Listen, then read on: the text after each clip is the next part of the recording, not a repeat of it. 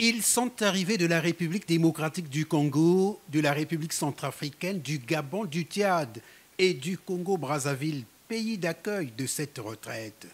Les directeurs des bureaux OIT pour la région Afrique sont réunis à Brazzaville pour une retraite en vue de renforcer le fonctionnement et d'améliorer les performances des bureaux de la région.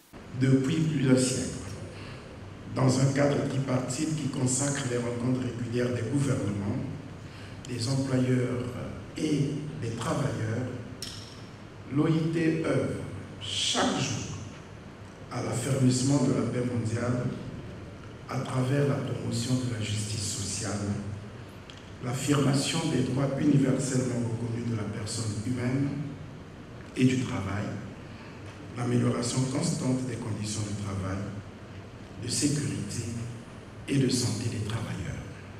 En plus de la participation des directeurs des bureaux de la région Afrique, cette retraite connaît également la participation d'autres hauts fonctionnaires de l'Organisation internationale du travail.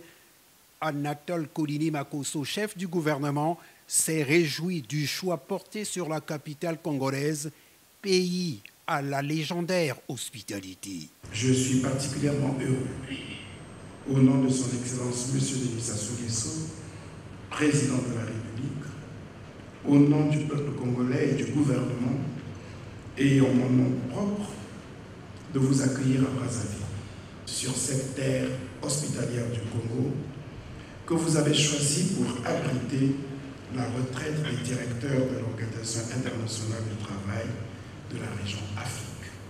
Votre choix, croyez-moi, nous honore.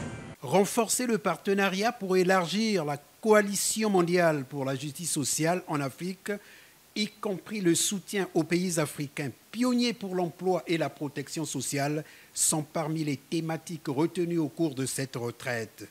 Je rappelle que l'OIT est une agence des Nations Unies dont le mandat vise à la promotion de la justice sociale et du travail décent.